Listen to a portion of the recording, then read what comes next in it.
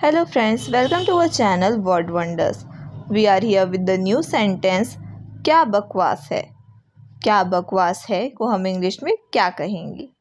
Friends अगर आप रोज़ ऐसे ही न्यू सेंटेंस सीखना चाहते हैं तो हमारे इस चैनल को सब्सक्राइब करना बिल्कुल ना भूलें। क्या बकवास है को हम इंग्लिश में कहेंगे? What nonsense what nonsense Thank you guys for watching. We will see you in the next video with the new sentence. तब तक के लिए bye bye.